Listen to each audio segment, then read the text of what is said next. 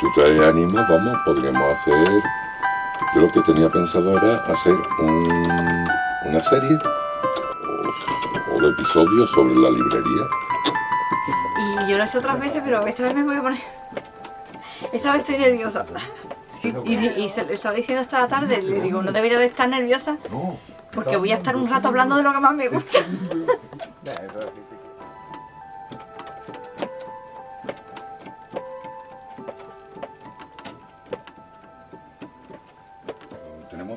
años de profesión, pero aquí llevo tan solo 4 años.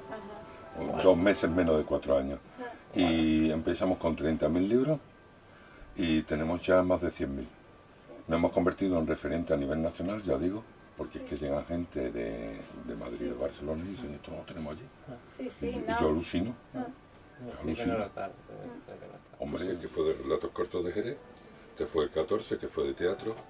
A raíz de este libro de teatro, sacamos un grupo de teatro en la librería y sacamos el cómic. Este fue el 13, que fue un, un cuento y aparte un catálogo artístico. Chekhov y Tolstoy. Yo diría lo siguiente, vamos a hacer trampa. Esto sale 5. Si juntamos estos dos, este sale por 4 y este sale por 4, serían 9 euros y este de regalo. Hombre, tener una cosa que no esté en Madrid, a mí me da miedo inclusive, vamos.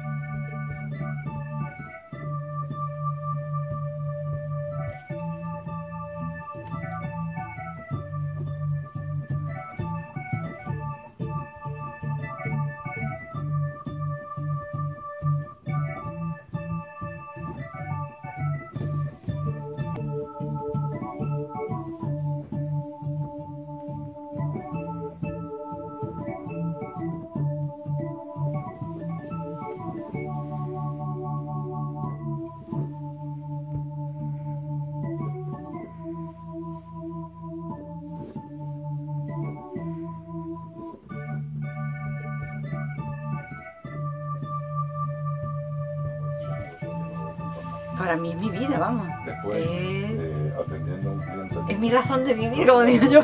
Es por lo que, me- lo que, lo que hace que me, que me anime. Buenos días, buenas tardes, buenas noches. Eh, me dirijo a, a todos los escuchantes del mundo que sintoniza con la magia de Luti Molins, una radio que llega a todos los rincones del mundo y que todos los viernes, siguiendo una estela que se inició en junio con este ciclo de Sueños de una noche de verano, donde aquí la librería Planeta Zócar pues hemos tenido una gran variedad de, temas a tocar que hemos tocado, que hemos desarrollado, desde música a cuentos, poesía, eh, y en este caso vamos a hablar, vamos a presentar, mejor dicho, a Ana García Garrido, quien va a desarrollar tema mm, que tiene muchos seguidores en todo el mundo, como es eh, la famosa muñeca Barbie, su, historia y su evolución. Por lo tanto,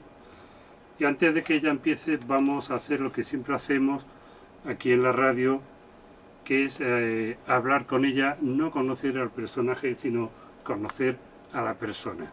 Por lo tanto, me voy a permitir sentarme para llegar a entablar una relación como más cordial, más directa y eh, vamos a, empezar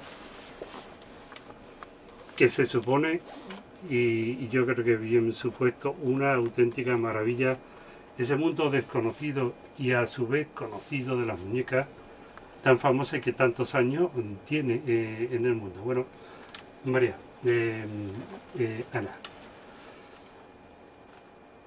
¿qué tiempo llevas metida en el mundo de las muñecas Barbie? Desde prácticamente desde que tenía ocho años.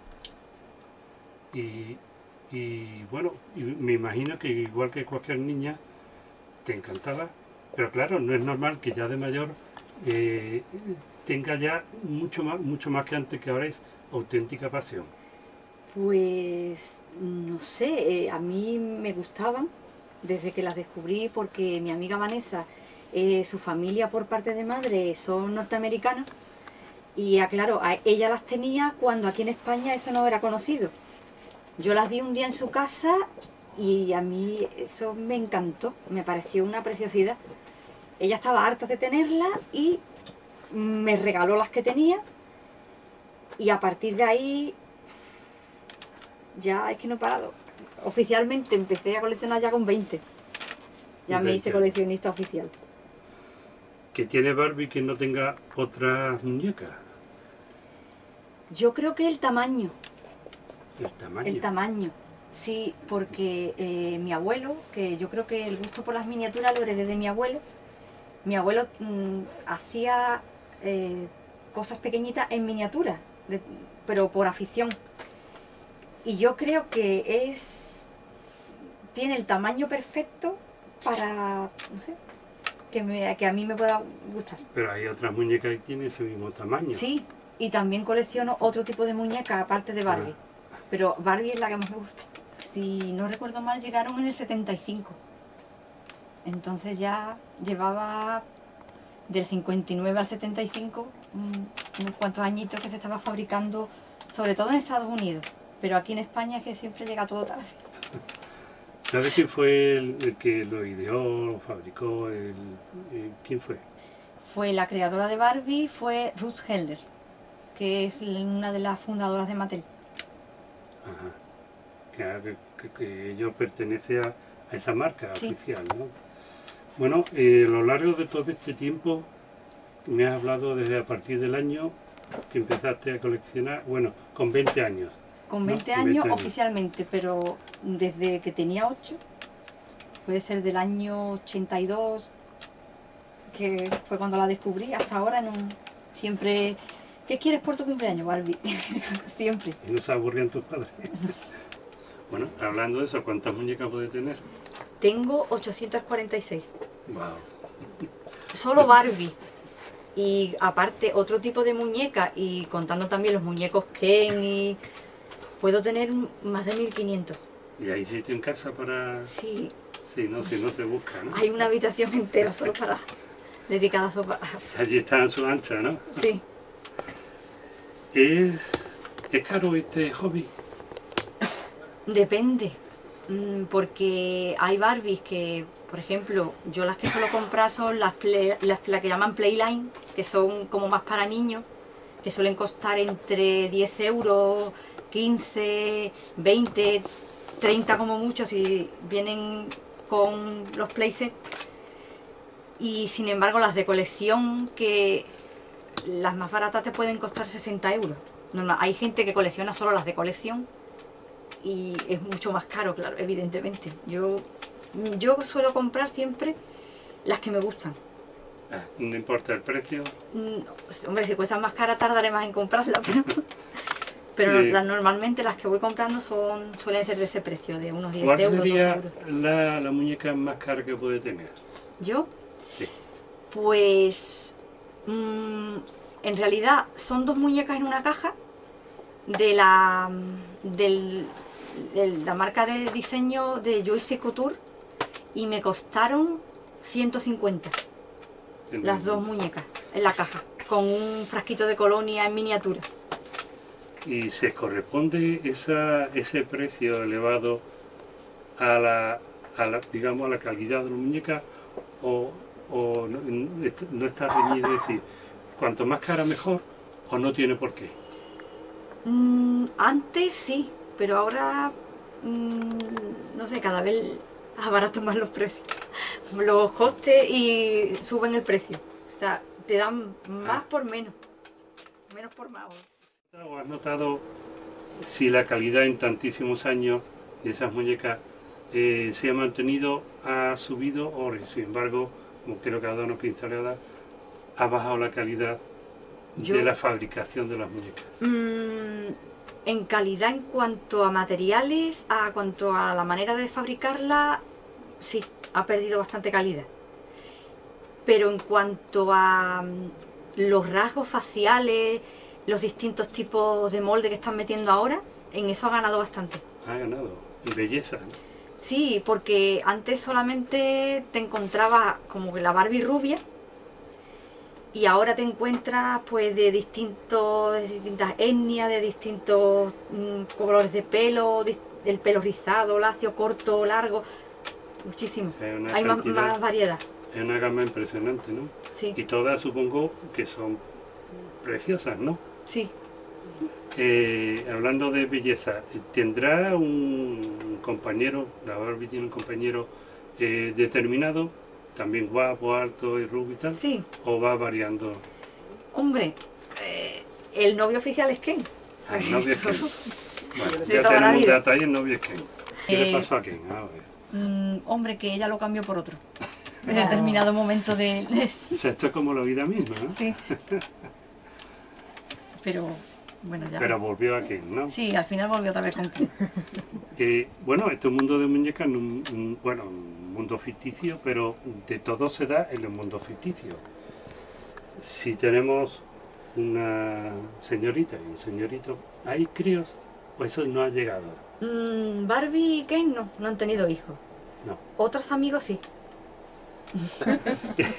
en realidad, aunque se han vestido de novio, nunca se han casado. Ah, que no están casados. Bueno, hoy en día no importa. Entonces, hay otra gama de muñecas que sí han tenido hijos. Sí, Ajá. su amiga Mitch. Pero dentro, Dentro de, sí, fíjate, dentro de, de, Mat- de Mattel, ¿no es? de Mattel, sí. Mattel. Dentro de eso sí ha habido más, más familia. Sí. Ellos son muy clásicos, ellos no se casan, ¿no? No, ellos sí están casados, sí, celebró la boda, en Ah, fin. ¿están pues- casados? Sí. No, me refiero a, a Barbie, No, Barbie y Ken no están casados. no están casados, ni quieren casarse, Mm, se vive mejor así. están rejuntados. Bueno, ¿cómo ve el futuro de Barbie? O sea, ¿se le ve el futuro? ¿Continuidad? Yo creo que sí. Ya últimamente las niñas estaban dejando de jugar, pero normalmente con todo tipo de juguetes físicos, Claro. porque ya es más las tecnologías, los videojuegos y todas las Ahí cosas yo, virtuales.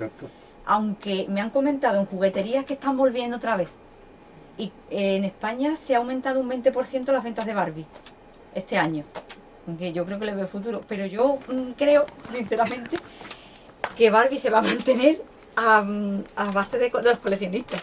Porque los niños. que si un padre inculca a los hijos ciertos valores, como por ejemplo, tirar el juego con, Sí. con algo físico, no estaríamos dependiendo bueno de lo que hoy en día de la tecnología. Sí, Es cuestión de, de eso, de, de querer ponerse. eh, ¿Se ha llegado o ha llegado a ir, si ha habido algún simposio o algo de eso donde se hable de, de Barbie y sus amigos y demás? eh, existen convenciones que hay. Ahora en octubre es la de España, en Ah. Madrid. O sea, que se hace una Sí. a nivel nacional. A nivel nacional, después hay otra en Portugal, en Francia, en Estados Unidos fue en, creo que recordar, en verano.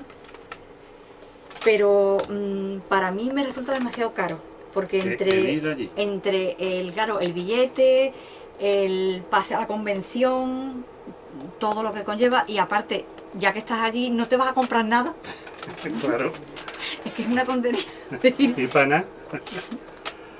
Em, ¿Quién suele, suelen ser siempre la misma persona que haga esas convecciones o y de dónde vienen? Eh, sí, yo conozco a los de España, sí, y siempre son los mismos, sí. Siempre. Van, que no sé, tendrán mucho dinero porque yo lo sé, no, van a todas, van en cadena. Y lo presentan ellos los de España, no nos viene uno del extranjero. No, no, lo, lo organizan en España, sí.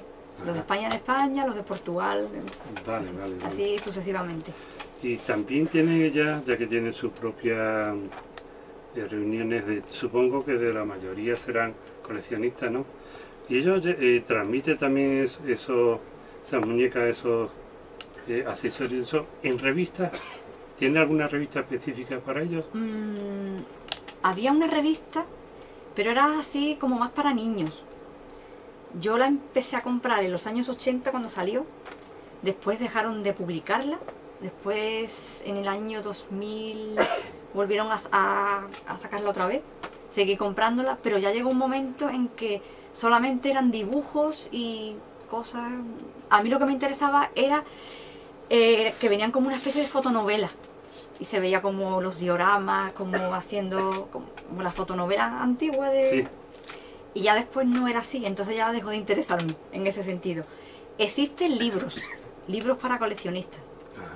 que aparte de ser súper difíciles de encontrar, porque que llegue uno en espíritus de patrones para la Barbie, Sí, sí. que eso, y hay gente que los tiene, sube eh, fotos, y hay otra gente que hace sus propios diseños y sube los patrones para que otras personas lo puedan hacer.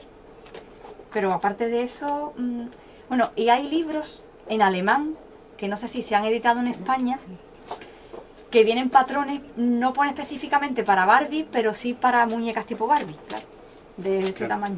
¿Te puede servir? Sí. ¿Te ha llegado a atrever alguna vez a hacer un trajecito? Sí, Ah, sí. de hecho yo he participado en concursos de diseño para Barbie. Ah, que eres diseñadora. Sí, estudié la carrera de diseño de moda Bueno, una vez y en el concurso a nivel nacional quedé entre las 150 finalistas de 1500 que se presentaron. Y mi ah, modelo estuvo expuesto en Barcelona, en el museo, no recuerdo cuál ahora mismo, pero me mandaron la invitación. Lo que pasa es que yo no pude ir, evidentemente. O sea que digamos es un camino que podría eh, Sí. escoger también, porque de esa manera podrías ayudar a otras personas que no tienen esas posibilidades. Claro. Eh, podrías confeccionar. eh, Sí, sí, de hecho yo tengo una maleta entera llena de, de ropa hecha por mí. Porque aparte comentar, cuando era más joven, mi hermana eh, es siete años menor que yo y yo hacía como una especie de festival de Eurovisión con las Barbie para mi hermana y las amigas. Entonces escogíamos grupos, porque yo me- una amiga me ayudaba, pero la que lo cosía todos los trajes era yo y elegíamos grupos que existían de verdad y customizaba las muñecas con la misma ropa de la fotografía, pero le cambiábamos el nombre al grupo y le poníamos así como nombre para que no fuera exactamente igual. Y hacia el escenario con las cortinas, con todo el suelo, todo el... Y sacaba las muñecas, nos vestíamos de negro, con guantes negros para que no se nos viera la- lo menos posible con los focos, con la música. Dábamos incluso hasta unas hojas con las votaciones para que votaran. Y la verdad es que mi hermana y las amigas se lo pasaban en grande. Eso sí. eh, eso me ha dado pie a preguntarte, bueno, porque jugar con las muñecas supongo que no es solamente coger la muñeca, mirarla y demás.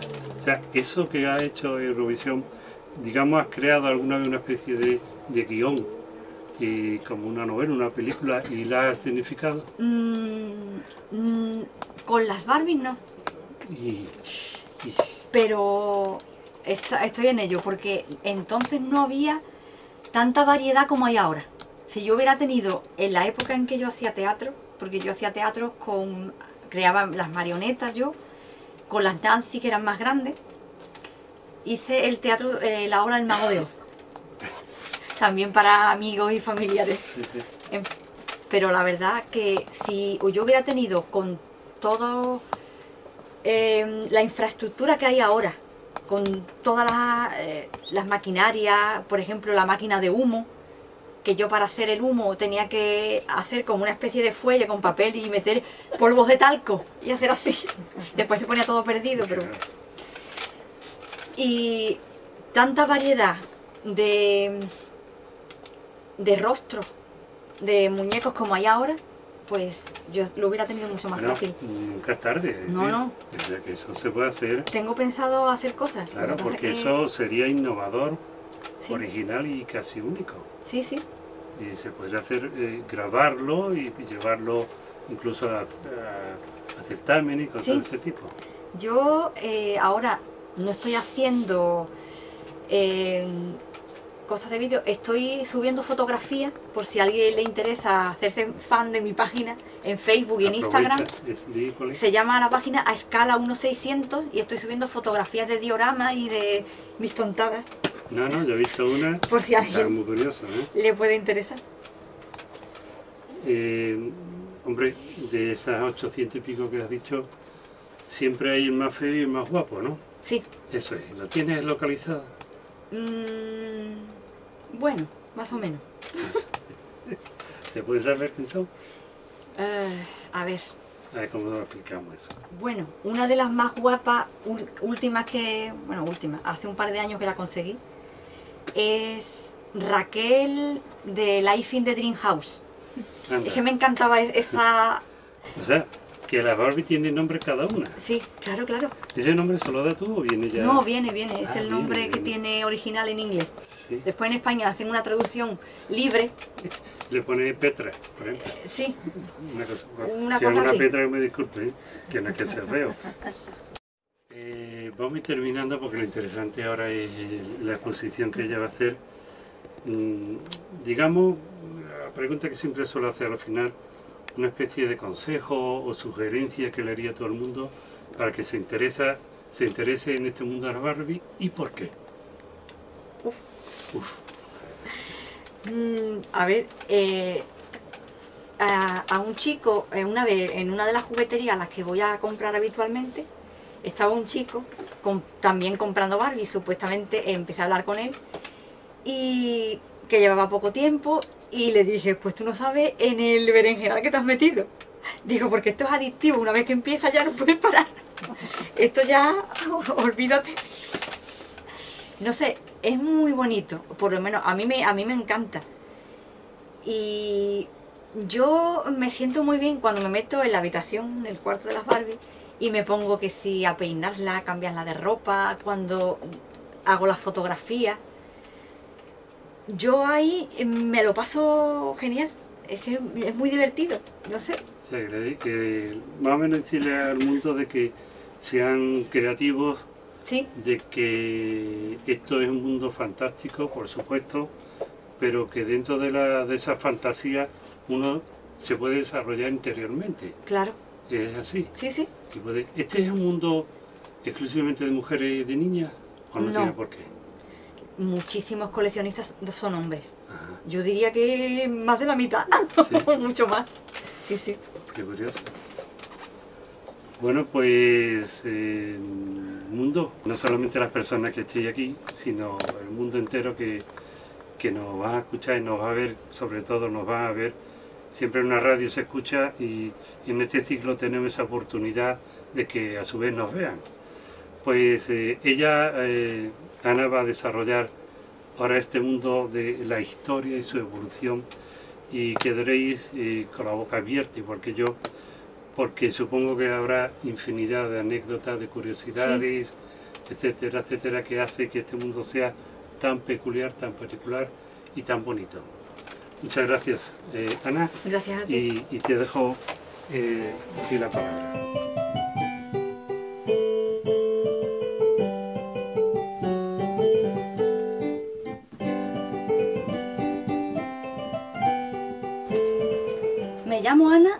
Barbijólica.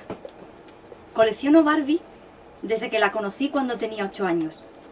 Todos estos años de coleccionismo me han servido para conocer y estudiar este maravilloso mundo muñequil color de rosa.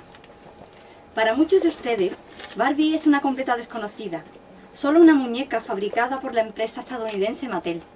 Pero, ¿qué hay más allá? Les invito a hacer un recorrido por sus 60 años de historia, desde que solo era una pequeña idea en la mente de una persona hasta convertirse en algo más que una simple muñeca. Un icono de la moda, la cultura pop y el coleccionismo. Vamos a hablar un poco de, de los comienzos. Mattel, una empresa nacida en un garaje de Los Ángeles y convertida en multinacional del juguete, cuyo prototipo, ah, logotipo es un acrónimo de los nombres de ambos fundadores. Harold Matt Matson, que es este de aquí, y Elliot Hendler. Inicialmente produce sencillos juguetes de madera y muebles para casas de muñecas. En la, la empresa colabora también desde el inicio Ruth, esposa de Elliot, que es esta de aquí, quien propuso el singular juguete que situaría a Mattel en el centro de atención durante las futuras décadas, Barbie. La idea se le ocurrió después de observar a su hija Bárbara jugando con sus amigas. Ella prefería jugar a modo de recortable con las imágenes de las actrices de las revistas, antes que con muñecas de trapo. Ruth comprende que puede haber una amiga y compañera de juegos para las niñas de todo el mundo. Ruth propone a su esposo y socio de este la creación de una muñeca de imagen adulta, esbelta, con cintura delgada y busto desarrollado, pero la idea se queda en el aire. En 1956, durante una estancia en Locarno, Suiza, Ruth consigue dar forma a su visión de Barbie gracias al descubrimiento de una muñeca producida en Alemania llamada Lily.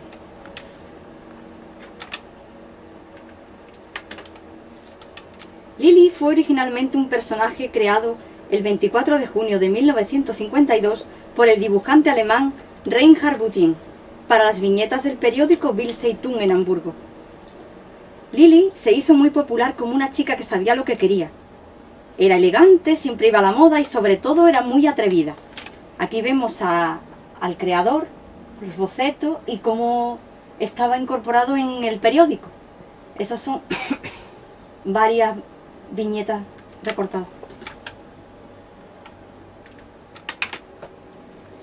Reinhardt, viendo el éxito de Lily, decidió producir una muñeca de este personaje y contactó con Max Wensbrock de la compañía de juguetes Hauser, que siguiendo los dibujos de Bautien diseñó el prototipo de la muñeca que fue lanzada al mercado el 12 de agosto de 1955. Cuando salió a la venta costaba unos 10 marcos alemanes de los de entonces, que en un momento en que los trabajadores solían ganar entre 200 y 300 marcos al mes, hacerse con Lily era considerado un lujo.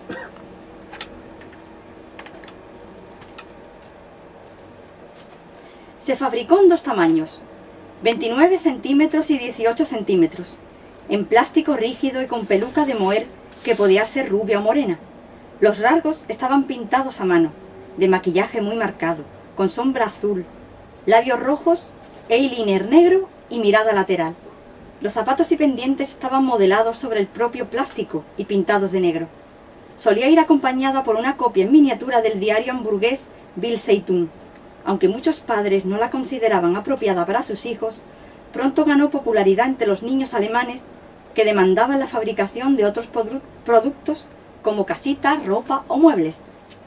Y como curiosidad, este es el periódico así venía en el envase, donde venía con la peana, el periódico dentro, y este es el periódico desplegado.